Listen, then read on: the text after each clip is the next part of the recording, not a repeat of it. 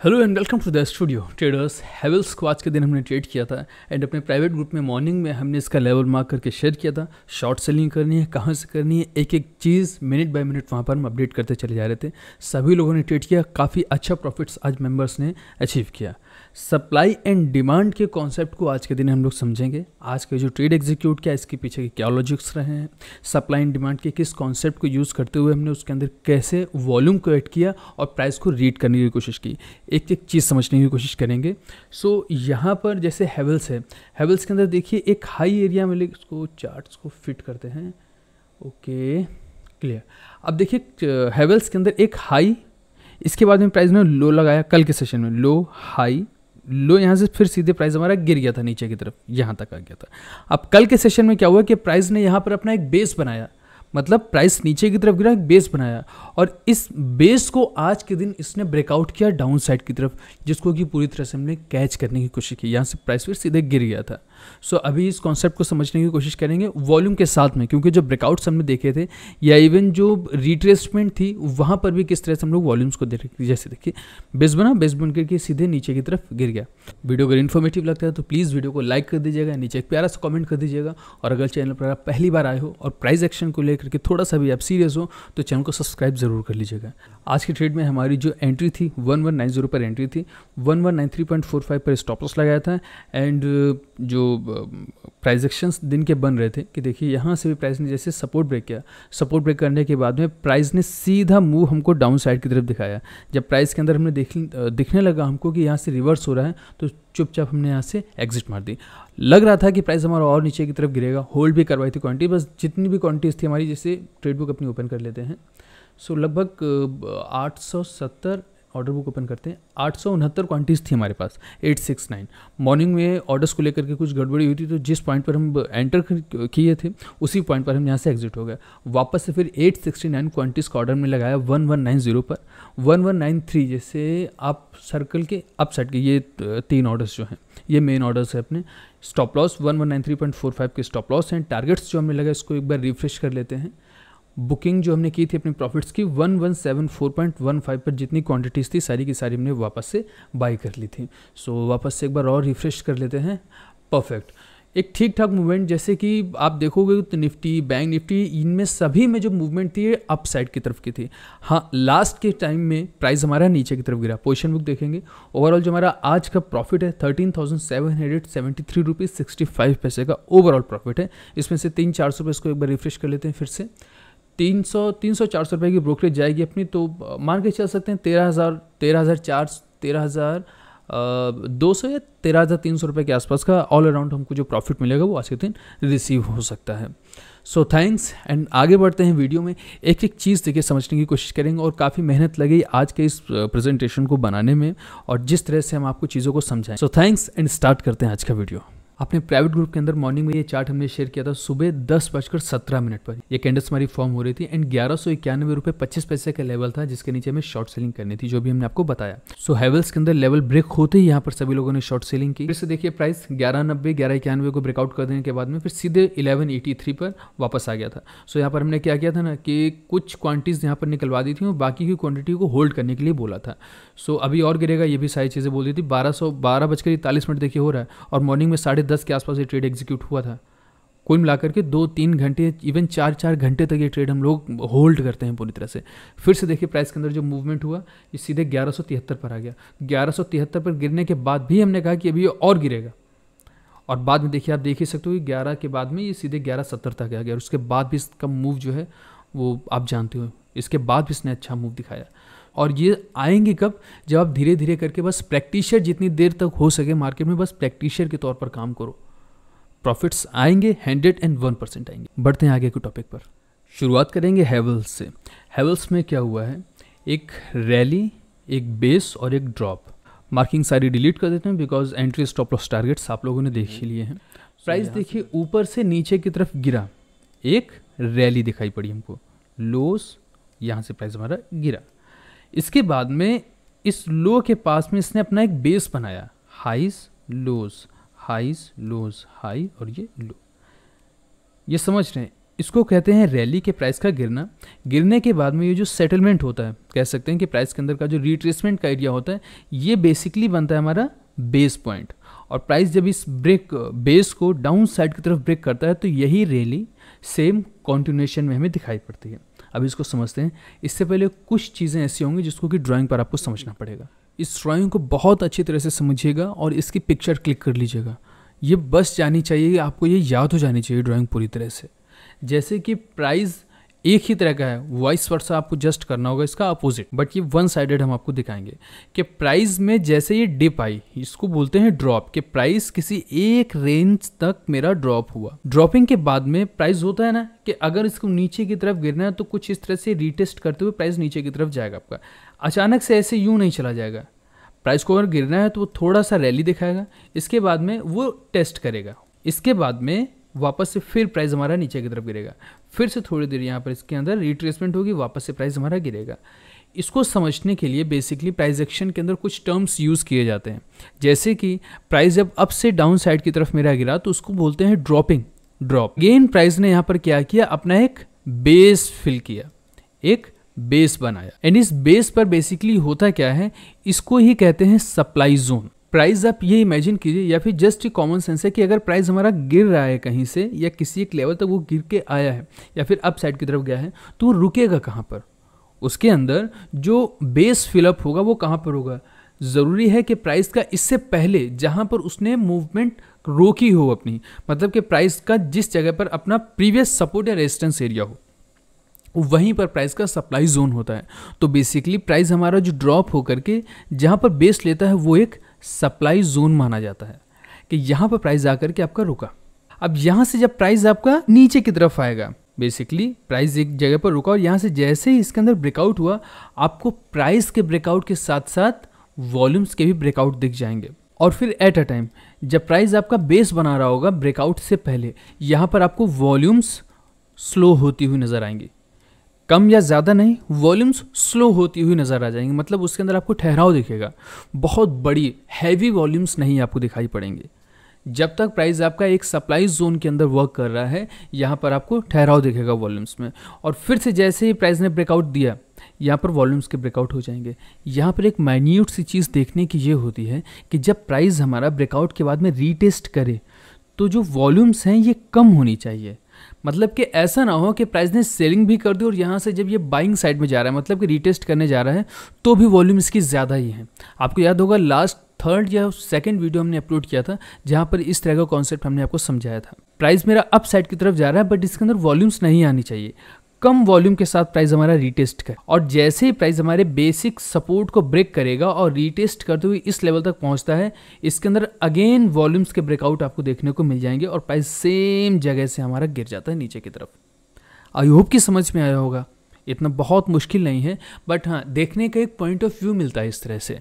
Price में एक breakout हुआ। अब जैसे कि ये ड्रॉप हो गया। ड्रॉपिंग में क्या होता है? इस वाली ड्राइंग को थोड़ा सा साइड में करते हैं। ड्रॉप में प्राइस ड्रॉप हुआ। एक बेस बनाया और बेस बना देने के बाद में यहाँ से प्राइस हमारा फिर से ड्रॉप हो गया। मतलब कि ड्रॉप बेस ड्रॉप इसके बाद में होता है drop base rally drop base rally में क्या होता है बेसिकली कि प्राइस हमारा गिरा। गिरने के बाद इसने एक जगह पर आकर के सपोर्ट लिया और यहीं से इसके अंदर मूव अप साइड का हो गया। तो इसको क्या बोलते हैं? ड्रॉप बेस रैली और जस्ट इसका अपोजिट होता है। रैली बेस रैली और रैली बेस ड्रॉप काफ़ी सारा टाइम चाहिए होगा इन सारे कॉन्सेप्ट को समझाने के लिए क्योंकि इस तरह से नहीं यहाँ पर वॉल्यूम्स का भी काफ़ी ज़्यादा यूज़ होता है। सो so, अभी के लिए आप सिर्फ़ इतना समझिए कि ड्रॉप बेस और ड्रॉप इसको किस तरह से हम लोग रीड करते हैं। अभी जब हम एग्जांपल लेंगे तो रैली बेस ड्रॉप भी देखेंगे उसके अंदर। सिंपल यहाँ पर प्राइस एक्शन एंड वॉल्यूम्स का ही यूज़ होता है। प्राइस आपका एक जगह पर रुका हुआ है इसके अंदर वॉल्यूम्स भी रुकी हुई हैं। आप दौड़ रहे हो या फिर आप साइकिल भी चला रहे हो बहुत स्पीड में बट जब आपको साइकिल अपनी मोड़नी होगी आपको दौड़ते दौड़ते अगर टर्न लेना होगा तो आप सेम स्पीड में टर्न अप नहीं ले सकते। आप गिर जाओगे। क्या करना होगा ना स्पीड कम करनी होगी। स्पीड कम करने के बाद आप मुड़ोगे वापस और फिर से अपनी स्पीड बढ़ाओगे। यहाँ पर सेम लॉजिक का ही यूज़ किया जाता है कि प्राइस इस जगह पर अपनी स्पीड कम करता है। जो वॉल्यूम्स जो होती हैं, उनकी स्पीड आपको कम दिखाई पड़ेगी। और जैसे ही यहाँ पर इसका बेस पर टाइम पूरा होता है, वैसे ही प्राइस का मूवमेंट आपको डाउन साइड की तरफ़ दिख जाएगा। तो ये तो एक थेरेटिकल पार्ट है। अभी हम लोग चलते हैं चार्ट्स के ऊपर, जैसे हैवल्स हैवल्स के अंदर हमने आपको बताया, सारी मार्किंग्स को डिलीट कर देते हैं। सिंपली प्राइस के अंदर एक हाई लगा लो हाई और प्राइस हमारा गिर गया यहाँ तक। अगेन हाई और फिर से लो यहाँ तक देखिए। प्राइस के अंदर एक ड्रॉपिंग हुई और ड्रॉप कर देने के बाद प्राइस हमारा इस जगह पर कहीं रुक गया। एक सपोर्टिव एरिया बन गया इसका। यहाँ से क्या हुआ कि प्राइस हमारा बेस लेने लगा। पूरी तरह से प्राइस ने एक मूवमेंट बड़ा हमको नीचे की तरफ़ से दिखाया। वॉल्यूम्स जब आप देखोगे, इस पूरे जोन में तो आपको कम वॉल्यूम्स नज़र आएँगी। प्राइस जब अप से डाउन साइड की तरफ़ हमारा गिरा है तो इसके अंदर वॉल्यूम्स आप खुद देखिए कि कितनी ज़्यादा वॉल्यूम्स आ रही हैं। यहाँ पर देखिए वॉल्यूम्स के ब्रेकआउट हो रहे हैं इस जगह तक। और बाद में जब प्राइस ने यहाँ पर बेस लेना अपना शुरू किया तो वॉल्यूम्स देखिए।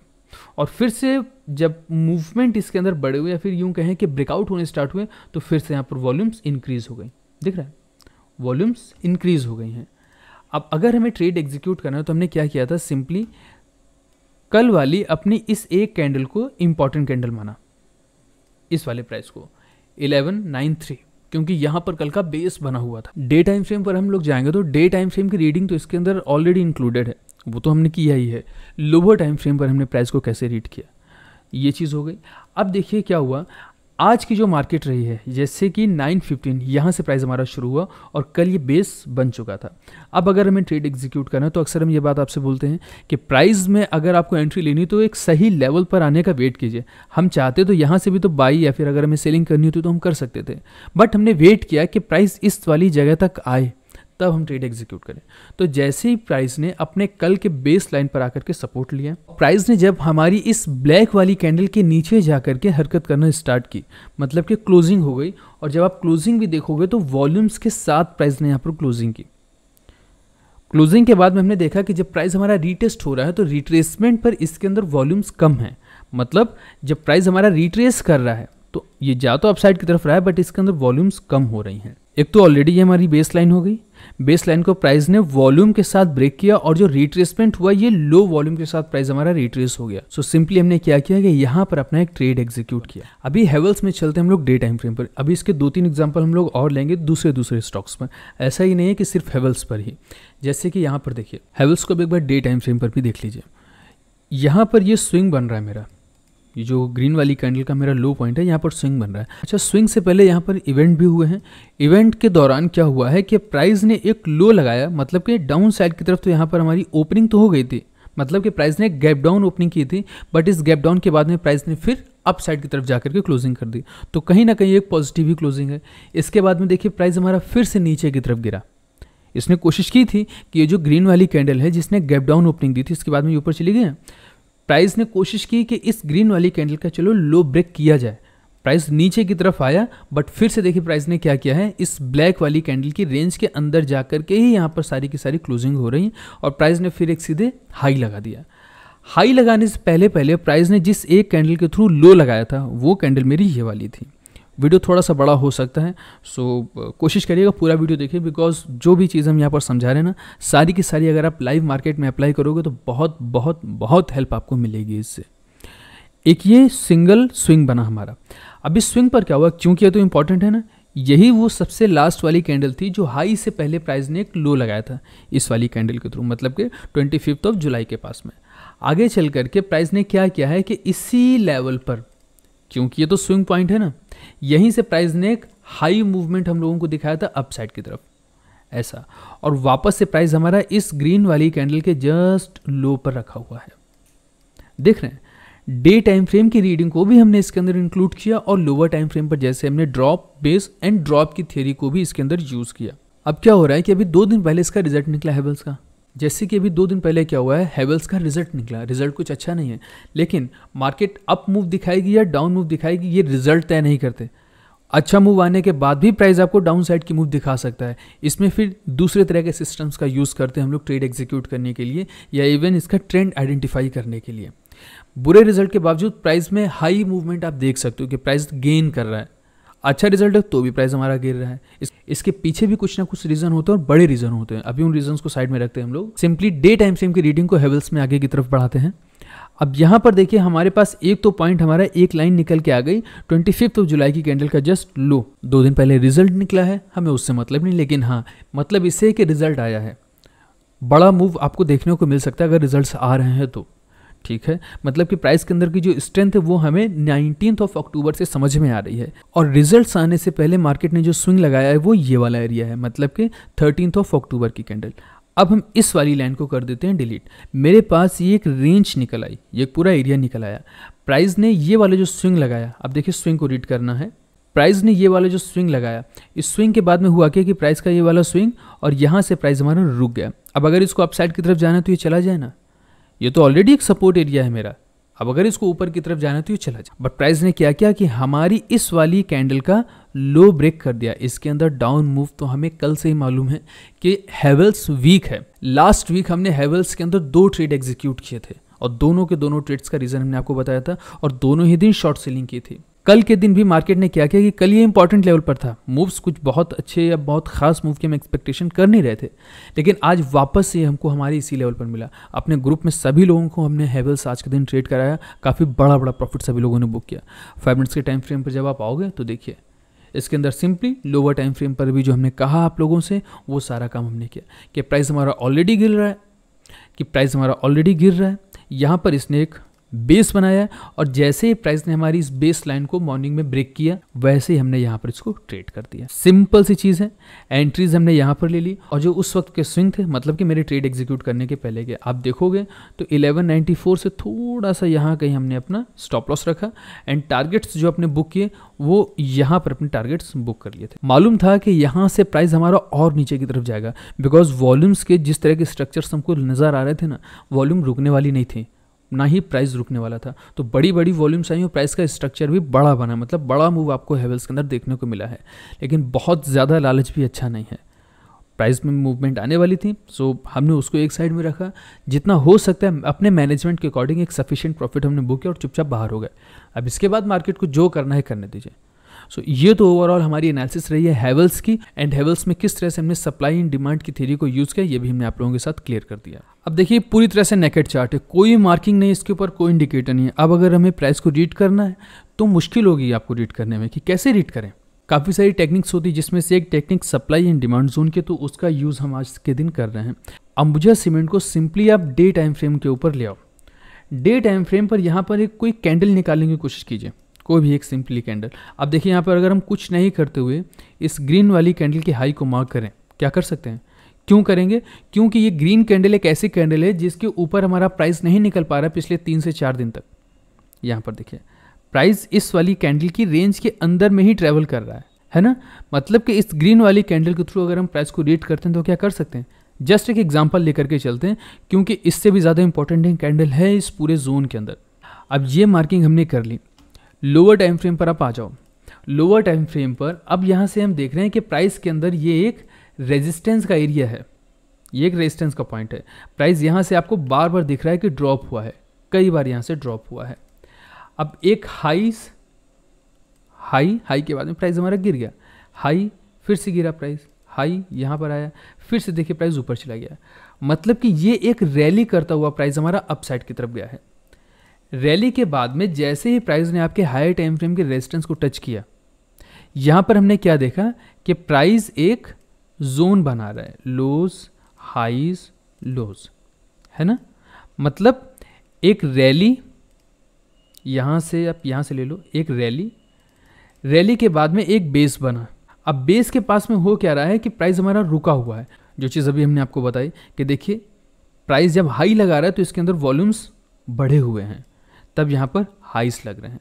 वापस से प्राइस ने जब अपना एक बेस बनाया, क्योंकि देखिए प्राइस यहाँ पर हमारा गिरा ना, गिरने के बाद में एक बेस बना।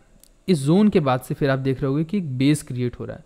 अब इस बेस बनने के प्रोसेस में आप देखोगे कि वॉल्यूम्स कम हो रही हैं। यहाँ तक भी जो वॉल्यूम्स है अपनी, वो कम हो रही हैं।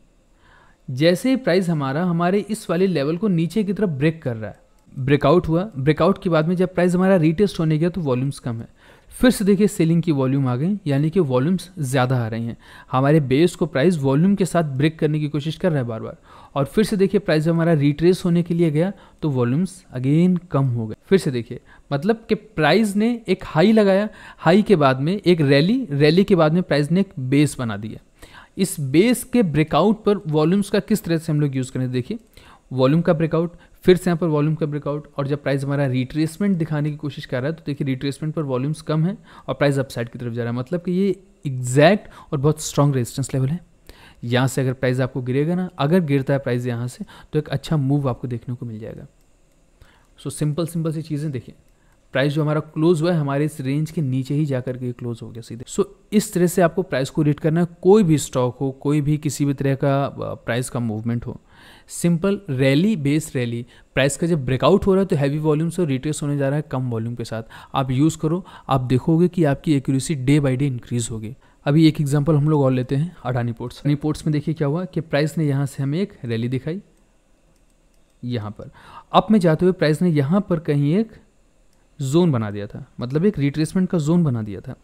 प्राइस जब आज के दिन अप से डाउन साइड की तरफ़ गिरा है तो देखिए इसने क्या किया? कल के सपोर्ट एरिया के पास में प्राइस ने आज अपना एक बेस बना दिया। लो और यहाँ से देखिए बेस और जैसे ही प्राइस ने हमारे लो को ब्रेक किया, आप यहाँ पर वॉल्यूम्स की हरकत देखो किस तरह की हो रही हैं कि जो ब्रेकआउट्स हैं ब्रेकआउट आपको हैवी वॉल्यूम के साथ दिख रहे होंगे। यहाँ से यहाँ से। ओके और जो बायर्स हैं, इनकी वॉल्यूम्स कम है। वापस से देखिए प्रेजेंट ब्रेकआउट किया और जब ये अप साइड की तरफ़ जा रहा है तो वॉल्यूम्स गिर रही हैं वॉल्यूम्स कम हो रही हैं। और फिर से देखिए प्राइस ने ब्रेकआउट किया, यानी कि वॉल्यूम्स के भी ब्रेकआउट हो गया और प्राइस का भी ब्रेकआउट हो गया। फिर से देखिए यहाँ पर ग्रीन कैंडल बन रही है बट वॉल्यूम्स कम है।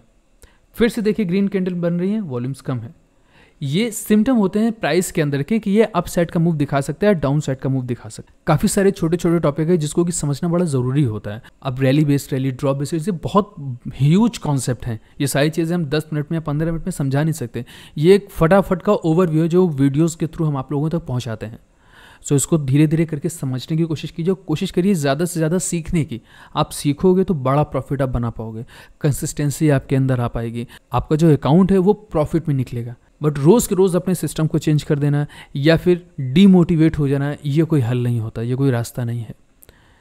हम हर बार आपसे कहते हैं, आप हमेशा जो लॉस करते हो, वो बहुत ज़्यादा ग्रीड में आकर के, लालच में आकर के आप लॉस करते हो। आपके अंदर से लगता है, अरे यार, चलो बैंक निफ्टी को मार देते हैं या ऑप्शन कर देते हैं या इवन हम अगर मना करते हैं आपको डेरिवेटिव्स में काम करने के लिए तो बहुत से ऐसे लोग हैं जो कि स्टॉक्स में ही ऑप्शंस के अंदर काम करने पहुँच जाते हैं। उनको लगता है कि स्टॉक तो बड़े अच्छे चलते, चलो इसी के ऑप्शन में काम करें। आता नहीं है कुछ, लेकिन वो ऑप्शन में जा रहे हैं काम करने के लिए। नुकसान करते हैं, फिर से वापस आते हैं कि नुकसान हो गया। क्यों हो गया? समझ में नहीं आ रहा। तो इसलिए जितना हो सके ज़्यादा से ज़्यादा बस प्रैक्टिस अपने अभ्यास के ऊपर थोड़ा सा इन्वेस्टमेंट कीजिए। थोड़ी सी प्रैक्टिस कीजिए। मार्केट को आप समय दोगे ना, बहुत अच्छी तरह से मार्केट आपको सिखाएगी। लेकिन बस सीखना चाहो आप तो। थैंक्स एंड आई होप कि वीडियो से ज़रूर आपको कुछ ना कुछ इन्फॉर्मेशन मिली होंगी, कुछ ना कुछ नॉलेज मिली होगी। अभी शायद हमको सही से ध्यान नहीं मंडे या फिर ट्यूसडे को शायद मार्केट क्लोज रहेगी। वो आप लोग देख लीजिएगा किस दिन मार्केट बंद रहती है। सो so, अब नेक्स्ट ट्रेडिंग सेशन में हम लोग वापस से मिलते हैं। तब तक के लिए good bye and we will meet again